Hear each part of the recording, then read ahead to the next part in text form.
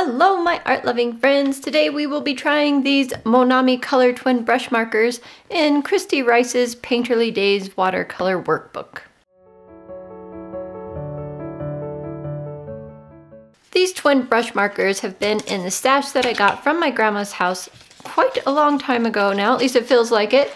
Anyway, they were calling my name today, so I just keep seeing them as I walk by and I want to try them out. Can't get them out, but I want to try them out. so you can see it's mostly a pack of blues and then we have a purple and maybe some kind of warm gray. Does it have a name? That is the question of the day. Nope, no color names on them. Ah, there are color names on the box, however. Neutral Gray 7, Violet, Blue, Blue Celeste, Sky Blue, and Pastel Mint. So this is meant as a watercoloring book for adults. However, the paper in it just doesn't take watercolor very well. It takes it, you can see that I have painted in it with watercolors before. This was a Marabu Aqua Pen Graphics, so that was another type of water-based marker. And then somewhere back here I have one more at least painted or partially painted with the Chalkola brush pens. And the image I want to try today with these markers is this one here with these hummingbirds because the blues and the hummingbirds I think would just go well together. So I'm going to limit it to just these markers, just this palette, which I think is going to make it very fun. Real quick before we start, I'll show you a quick close-up of the marker. You can see it has the labeling there, the brush pen on this side, which looks quite nice, and a little finer brush pen on this side twin brush, just like the box says, which is probably gonna be pretty handy. I'm kind of curious what these colors actually look like on paper. Oh, that's way darker than I would have expected, so I'm glad I tested that. I wasn't going to, I was just gonna go right into the coloring, but oh, I'm seeing that's a little lighter than I expected. Very interesting. It's nice they have these big color blobs on those the one side. You can tell exactly which side has the larger brush pen. That's very bright. There's Squeaky. that one is not as squeaky. This one feels softer for some reason. Just want to feel what the other side feels like. Feels very similar. All right, these are the color choices we get for this coloring book today. I started out by putting some washi tape along the edge there and I was using some washi tape I didn't like because I couldn't get it to stick to my watercolor paper. So it was a good one to put in here. I love the design on it, but it's not very sticky. And then I just started painting and painting, marker painting, I guess. Markering? Yes. So for the next hour and a half, I worked on this little drawing. And I thought at first that I would probably just do a little bit and take a break.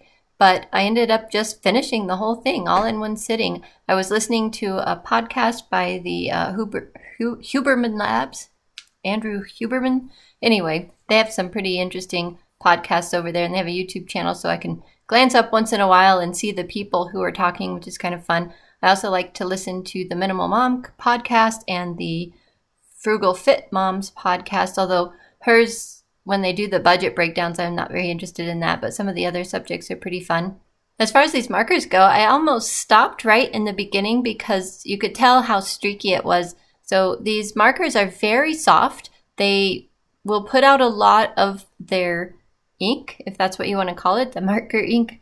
And so uh, this paper just wasn't great for it because it would soak into one little streaky section and not really spread out. And I don't know why I didn't think of it when I was doing it because I have water and a brush right here in front of me on the desk, like at the top of the screen here, just above the coloring book that you're seeing.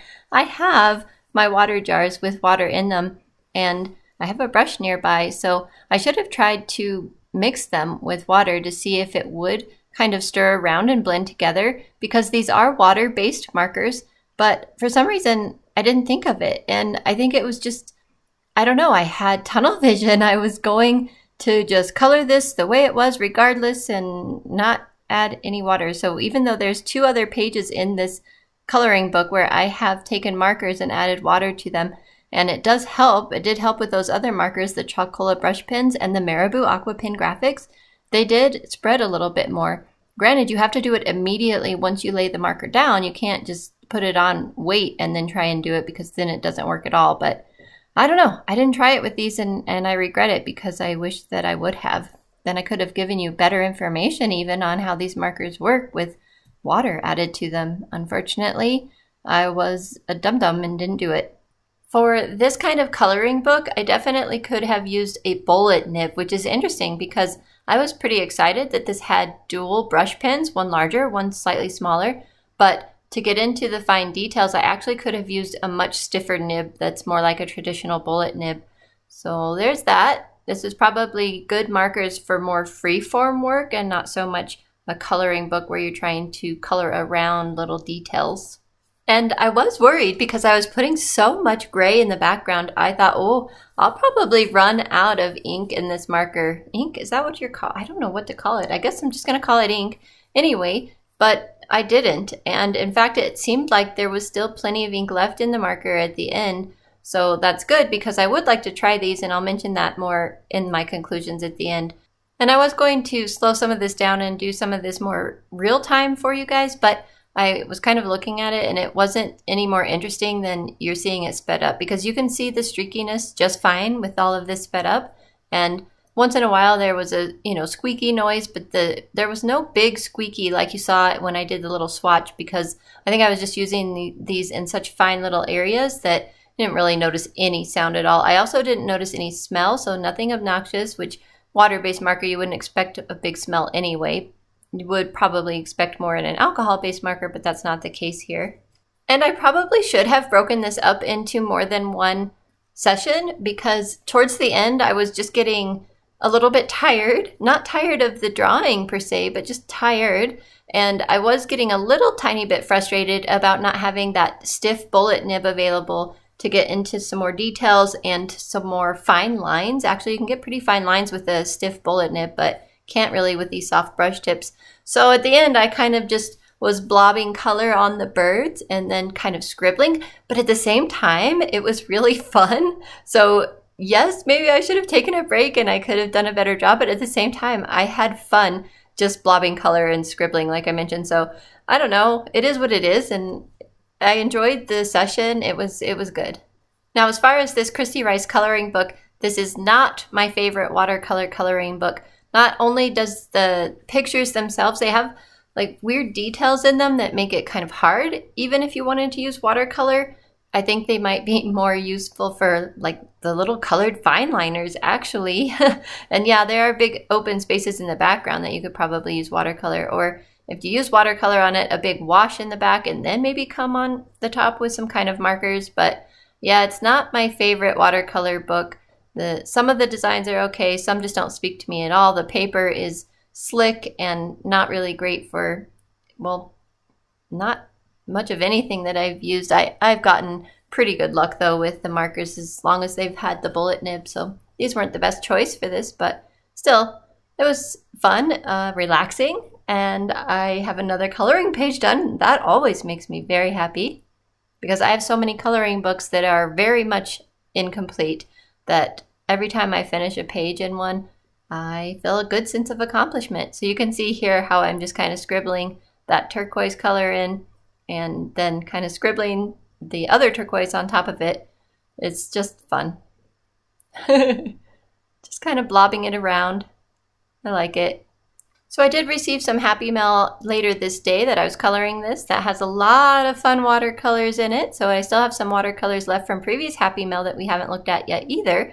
So keep an eye out for that video. That'll either be next week or the week after. Regardless, next week's video is full-fledged watercolor one way or another because I have two great ideas for what it's going to be and I'm excited for it and I can't wait to dig into it. I want to do it right now except uh, I kind of need to get this video out for you guys first and I love sharing this stuff with you.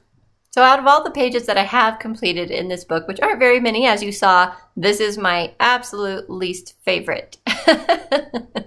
Ugh, yeah. At the end, I figured the birds, they just don't stand out enough so you can see I take the darkest marker, the blue, and outline them. And that helped a lot, but it's still just kind of a ho-hum, humdrum page for me.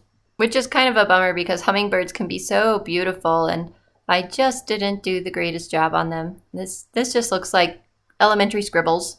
That's okay though.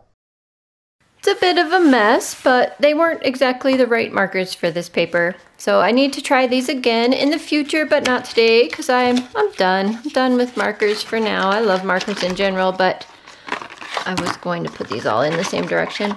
Anyway, love markers in general, but I need to find a slick surface paper, I think, for these particular markers. So maybe actual marker paper. We'll just put them in the drawer to come across again sometime in the future. Maybe I should just put them with the other markers and add them to the inventory. It was exactly what I needed today, and it did not bleed through at all. Not even a little bit. So that's good. And I did put the back flap of the thing to protect that page, but it didn't need it. So tell me in the comments below, when you just need a brainless art activity to do, what do you guys do? I would love to read and get some ideas. All right, I will see you guys in the next video. Bye for now.